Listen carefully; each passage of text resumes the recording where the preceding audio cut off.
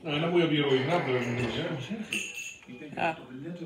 ja, nou mooi. Uh, dat we hier met z'n allen wat van leren. En dat die landen... Begrijpt hij. Om sneller onze eigen vijzen als het gewoon straks weer gaat draaien, dan willen we ook dat onze ouders gewoon eh, naar het einde kan gaan.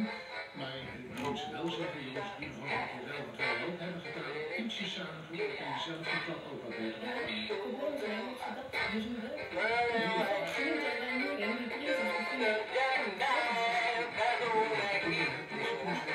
Thank